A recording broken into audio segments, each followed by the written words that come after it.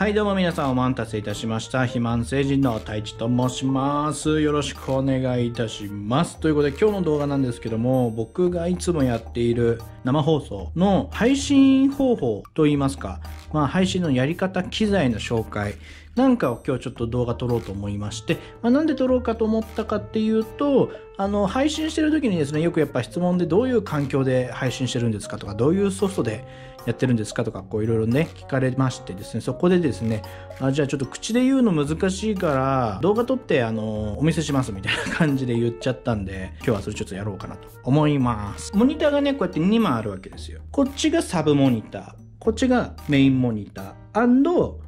ゲームをするモニター。まあ、昔はテレビをね、まあ、ちょっと模様替えしまして、あの、テレビをね、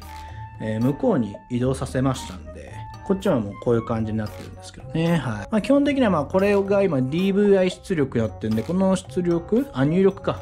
入力をね、HDMI にこれ変えるわけですね。HDMI に変えて、で、PS4 ポチッとつけます。はい、今これ PS4 が、えついたんですけども、ここでま PS4 つけましたら次何するかっていうと、ストリームラボ OBS。これが僕の、えー配信ソフトというか、多分まあこれで配信してる人結構多いんじゃないかなと思うんですけど、これ無料なんで、すごいおすすめです。あ、いいですね。つきましたね。で、今こっちがあの起動して、あのゲームキャプチャーでこういろいろとリンクされて、今一回こっち消えたんですよね。で、今もう接続できてるわけですよ。えーこれがストリームラボ OBS ということで、まあ、ここにもバージョンがね、書いてあるわけなんですけども、これを使ってね、あの YouTube と同期させて、えー配信してるわけです。だからこれともう一つ何開かないといけないかっていうと、YouTube なんですね。えっと、YouTube のですね、この作成っていうところ、あここを押します。そうすると、えーライブ配信を開始っていうのがあるんで、ここをまクリックすると。そうするとこうやってね、まあ、出てくるんですけど、まあ、以前作成したライブ配信からライブ配信を新規作成しますという感じで、まあ一回これを、まあこれ昨日ですね、昨日配信した設定ですね。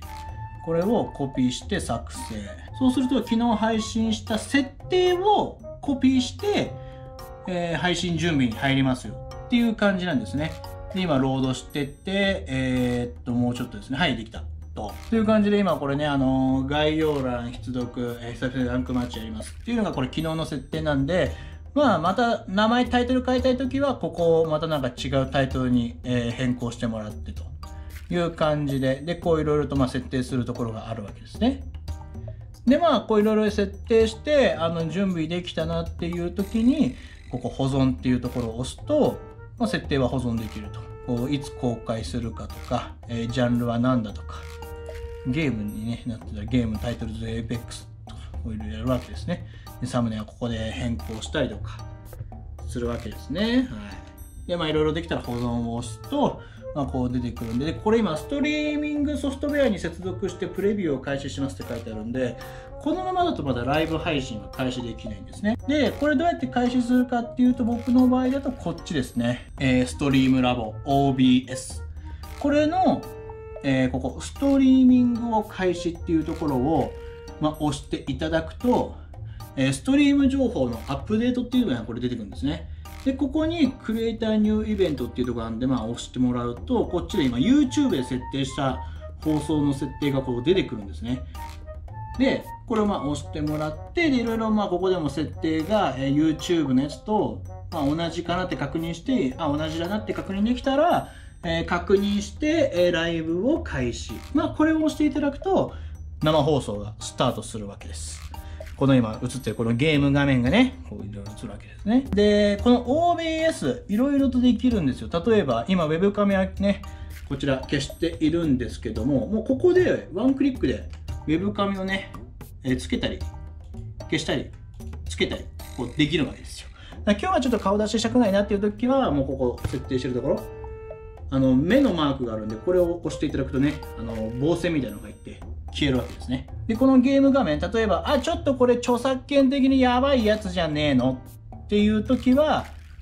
まあもうこう押せば、はい、ゲーム画面が消えるわけです。だからすごいもう簡単で楽ちんちんなんですね。すいません、なんか変なこと言った。楽ちんなわけですよ。はい。で、例えばこういうゲーム配信してる時になんかこういうサイトをちょっとここに出したいなっていう時は、あの、ソースっていうところ、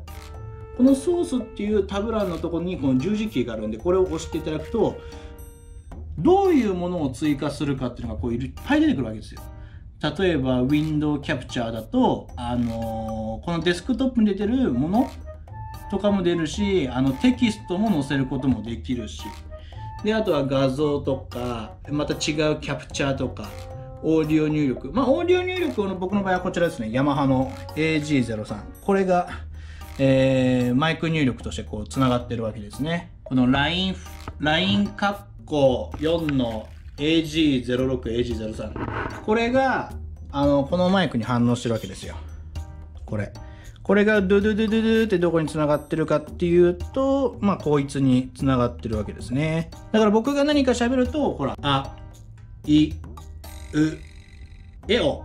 ね。まあ、そんな感じで反応するわけですよ。で、これで音量の調整も、あの、AG03、例えばこういうの持ってる人であれば、あの、こっちの媒体をいじくるのではなく、もうこっちで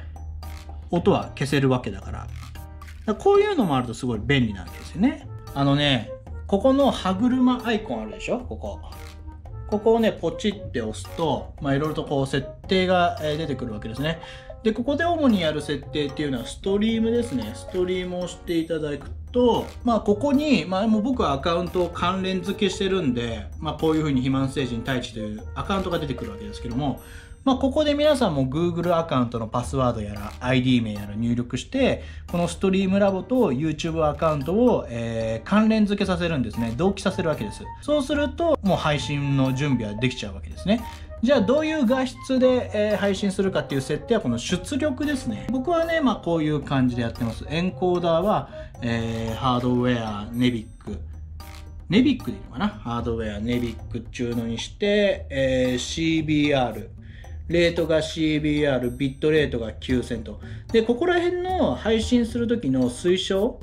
ビット数とか、キーフレーム、ビットフレームとか、そういうあれは、YouTube の方を調べていただくと、あの、YouTube はこの数値のあれを推奨してますみたいなのが出ますんで、まあ、それを参考しつつ、まあ、設定してもらえたらと思います。あとは、まあ、自分の、えー、デスクトップパソコンなり、ノートパソコンのスペックを見て、まあ、考えてもらいたいです。ちなみに僕はこのデスクトップパソコン、デルの XPS シリーズなんですけど、まあ、そんないいやつじゃないし、ゲーミング PC ってわけでもないので、まあ、僕と同じような設定でいいんだったら全然やれると思います。僕のね、生放送も結構 1080p の 60fps で見ていただければ画質いいんで、で、全然、あの、止まったりとかもしないんで、まあ、ほんと YouTube っていうサイトがなんか調子悪い時は止まりますけど。で、あとはプリセットがロー、ローなんちゃらほんちゃらということで、あの、なんかまあ、これ下に行く、行くにつれて、あのー、いいみたいです。ただその代わりパソコンにかかる負荷っていうのが結構大きいみたいで。僕は下から3つ目ですね。で、プロファイルがハイっていう風になってて、えー、最大 B フレームが2と。まあ、こういう感じの設定してるわけですね。で、オーディオ。オーディオに関してもね、あんまいじったりしないから、ここでね、あの、どのマイクを使うのかとか、まあそういういろいろ設定もできるんで、ここも自分のあの配信環境の道具でいろいろ決めてほしいですね。で、ビデオ。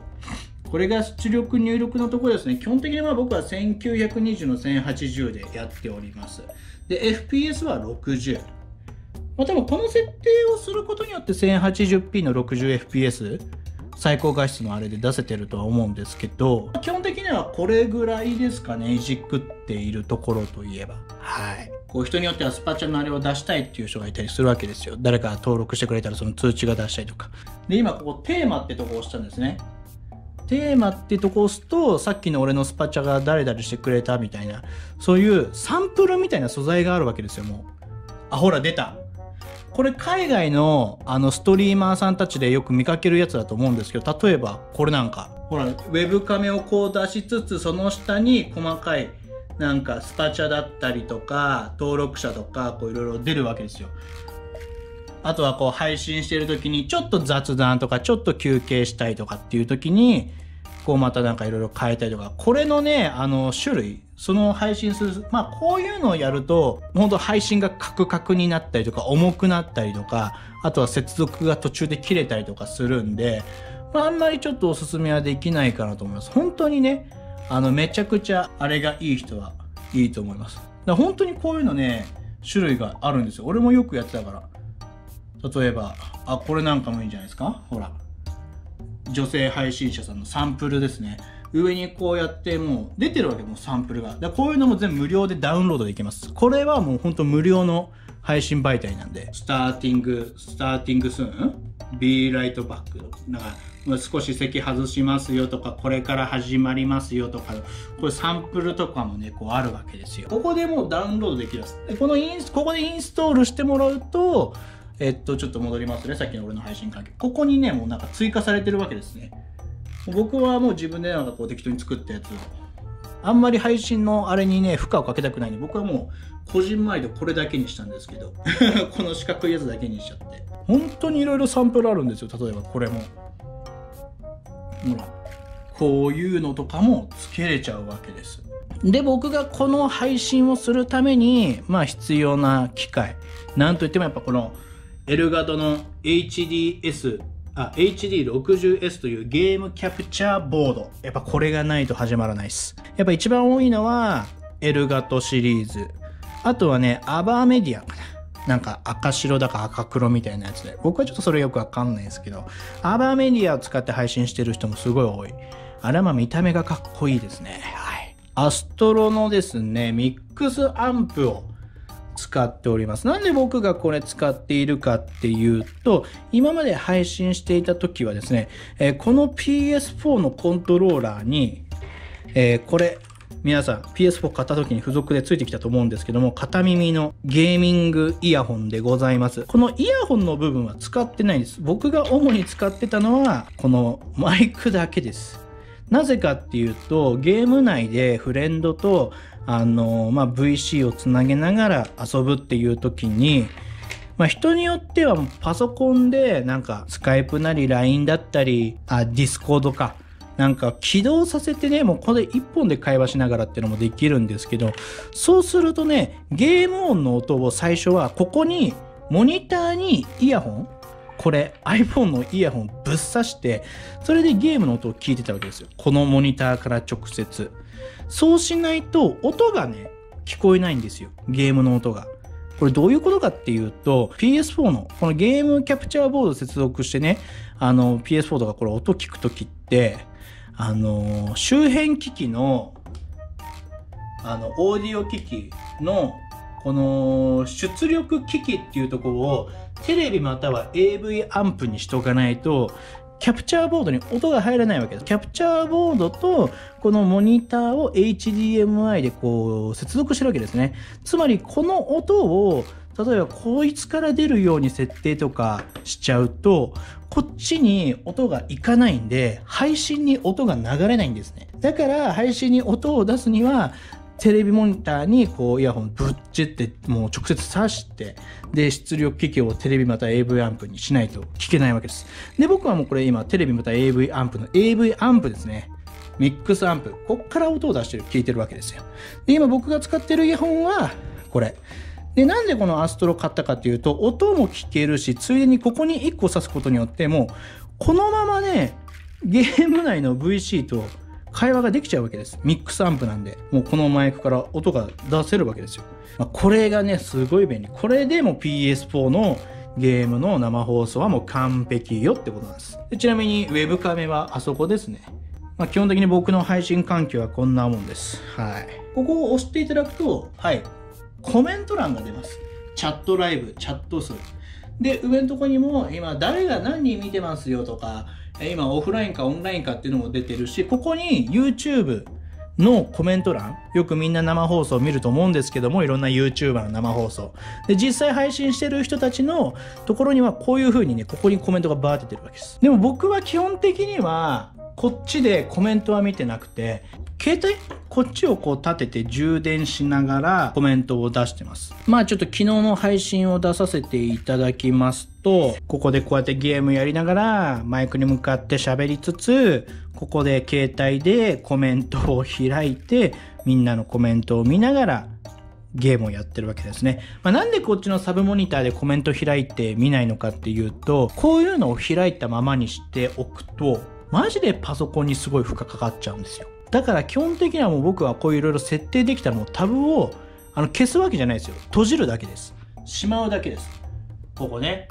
端っちょの防線みたいなとこ、こう、こちって押してしまう。これしまうだけでね、すごいパソコンの負荷が軽くなるんですよ。そういうことしないで、あの、出しっぱにしちゃうと、マジで俺のパソコンスペックそんな良くないから、でも、でもそれなりの高画質で配信したいわけよ。だからいろいろ試行錯誤した結果、まあ、このやり方が一番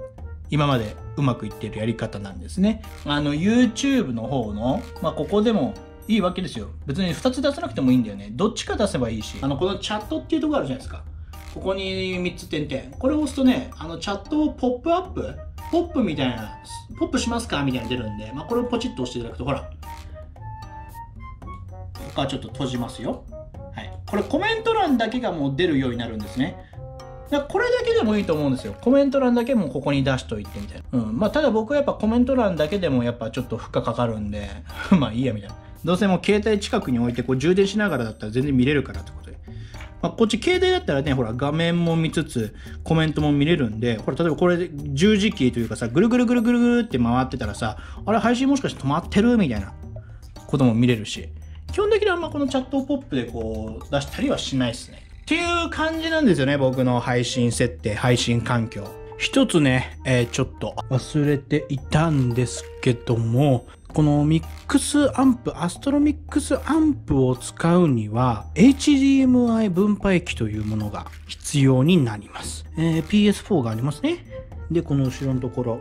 まあこれが青いのが有線の LAN で、で、これがまあ HDMI 真ん中が。で、これが電源ケーブルなわけです。はい、まずこの HDMI、これがどういうあれかっていうと、こうグググーとこう裏に通ってって、どこに行ってるかっていうと、こっちにあります、これですね。HDMI スプリッターとかっていうのがね、まあ、分配器で Amazon で調べりゃ出てくるんですけど、ここにね、こう繋がってるわけです。インですね。はい。HDMI インというところに PS4 の HDMI が刺さっていて、で、これのアウトと、隣、これ光デジタルの挿すところなんですけど、この光デジタルのケーブルがアストロミックスアンプの裏に刺さってます。で、このアウト、HDMI ケーブルのアウトはどこに行ってるかっていうと、L 型の HD60S のインのところに刺さってます。L 型 HD60S の HDMI ケーブルアウトは、この便球のモニターのとこに刺さっていると。そういう感じですね。で、なぜこの分配器が必要になるかっていうと、PS4 Slim に関してはね、光デジタルのケーブルを挿す場所がないんですよ。プロにはね、なんか、あるんですよ。光デジタルケーブルを挿す場所が。だから、プロであのゲームやってる人は分配器いらないです。ただ、僕みたいにスリムでゲームやってる人は分配器がないとこれは使えないです。これもう要注意。これを買っても分配器がないと PS4 スリムには接続できないんで注意してください。ということで皆さんまた次回の動画でお会いいたしましょう。バイバイ。